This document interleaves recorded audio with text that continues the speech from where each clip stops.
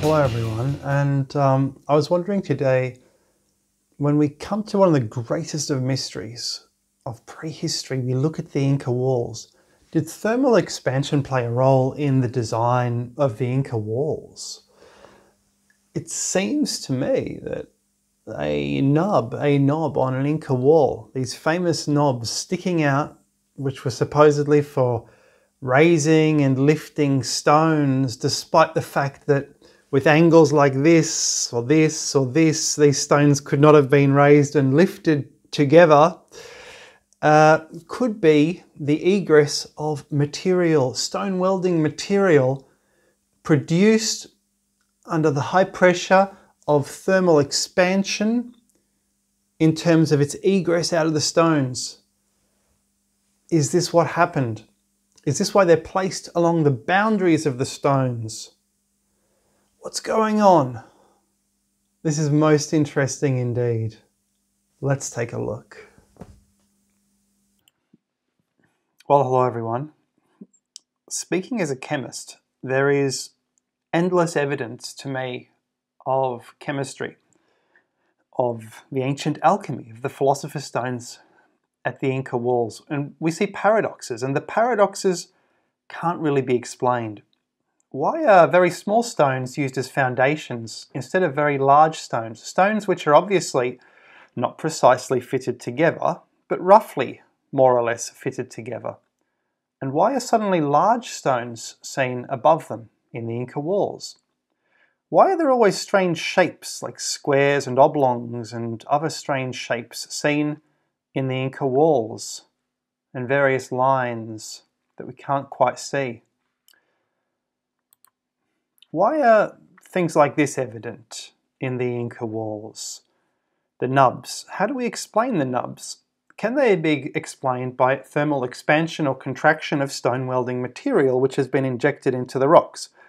Because some of the nubs are sticking out, some of the nubs are actually recessed. They're, uh, it's as if the, the mixture which has been injected in order to cover the, pre, the inside of the previous stones to weld them together has shrunk. And why is it that often we see a pillowing, so such that we see we see maybe chisel marks or scoop marks in the edges, as if part of the mixture has been cut away in order to form a pillowing effect? Is this due to an avoidance of thermal expansion, which could cause the facade to crack, which I've shown in previous videos. We know that concrete expands. I'm going to read this from a website by a company called Hansen. An expansion joint or control joint is a gap which allows a concrete to expand and contract as when the temperature changes. It forms a break between the concrete and other parts of a structure to allow movement without causing stress which can lead to cracking. They should be used in large concrete slabs such as foundations and concrete driveways. All concrete will shrink slightly as it dries, and when it's set, will expand or contract depending on the ambient temperature. To prevent cracks from forming, concrete expansion joints should be incorporated to allow for movement, particularly in slabs with a surface area exceeding 6 metres squared. Concrete expansion joints are particularly important where there have been consecutive concrete pours and are also useful when laying concrete within an area bordered by walls or buildings and if objects such as manhole covers need to be incorporated. You can install concrete expansion joints before or after the concrete is laid. And it goes on. After the once the concrete is set, grooves can be cut in the concrete. This will control where the concrete will crack, leaving a neat saw cut at the surface and allow joint materials to be added where required, but care must be taken to ensure the correct depth. And, and they, they give rules of thumb such as place joints at around 30 times the slab thickness apart. So if a slab which is 100 millimeters thick, the joints should be placed 3 meters apart.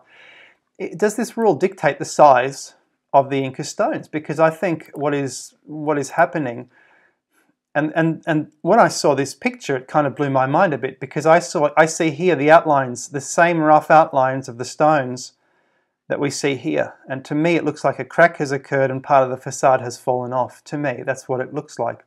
or part part of the mixture has come off and these stones are these stones it, they're built in the same way we can see that quite clearly quite clearly indeed to me here we see uh, where a nub has been placed because the welding mixture has been injected then due to the terrific heat exerted it has expanded maybe over weeks or months or days or hours and it has formed a nub and the nubs seem to be allowing for gravity to be at the joints. And why would the nubs be at the joints? To weld the two stones together by gravity being just above the previous stones. So I don't think we're going to see nubs right at ground level. We're going to see them always on the next course of blocks. And I see this as a multi-step process that, that took place. Um, for example, first we had to anneal all these stones together to make something like this. And then more was added as we went. But to ensure a, a good hold, what if we had to then drill into the stones and then inject more mixture just to make sure, which then emerged as these extrusions. And this might be a multi-step process. We also see evidence that um, parts of the stone were cut away um, to allow for expansion of the joints, and that might be the reason for the pillowing of the stones in the first place, that a bit of concrete had to be cut away to allow for future expansion or contraction, otherwise this kind of thing would inevitably occur. And here we see a similar thing, and, and, and this is pretty much how I, I think it, it, must have been done. It, it must be a chemical process, um, as postulated by people like Davidovits, but uh, rather than uh, all geopolymer, it's clearly a welding process of smaller, to me, it's a welding, a stone welding process of smaller stones.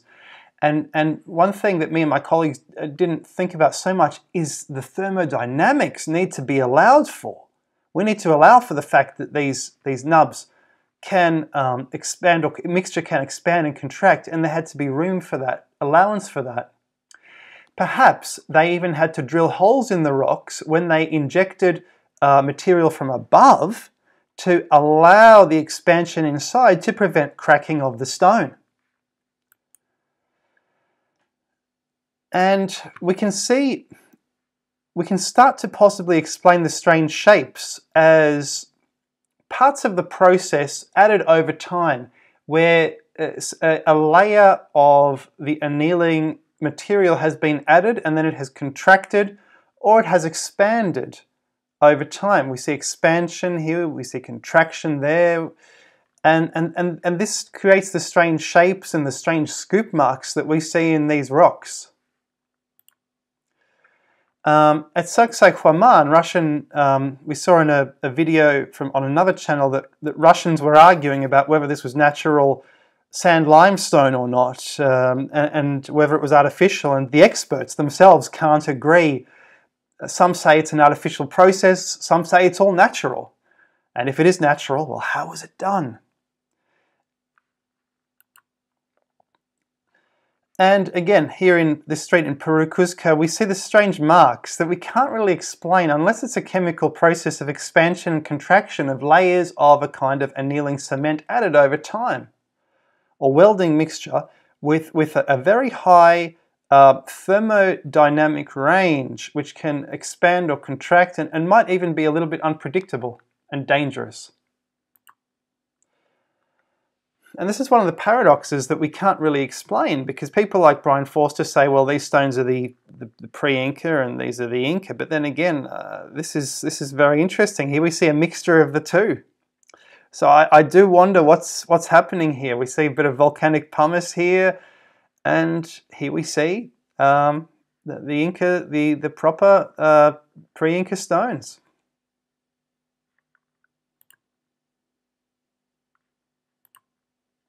And there's something else I want to explain about the granaries of Egypt because Um, when you bake, it, it, would not have escaped the attention of these people that what they were doing was basically break, baking bread in stone. When you bake bread together, it looks like the the the, uh, the, the, the pillow stone formations that they were creating in stone. So I do wonder, was bread a source of control, a source of power in Cuzco, such that uh, these people um, showed off their, their buildings as if the, as if the stone were baked loaves, baked together?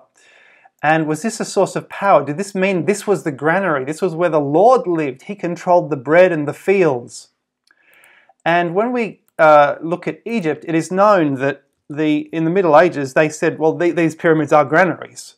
And no one knows why this is the case. Is it because they were once covered, possibly in these uh, pillowstone formations at one time? Clearly, these, these nubs are part of a process, possibly a chemical process. They were left behind. Why were they left behind? Was it because the, the builders moved on and the chemical mixture slowly expanded out of the stone over time? What's going on? And back in 2017, I made a video um, about this cracked stone showing that underneath, uh, in fact, that there does appear to be um, uh, other stone um, which may have been put together by another concrete. Someone did visit this site and he wasn't quite sure what was going on. He suggested maybe it's one piece of stone in there, or it could be a, a multi a multi-faceted process of different types of concrete. Okay. Well, I hope you've enjoyed the video. Um, yeah, I will see you in the next video. Thank you so much for joining me.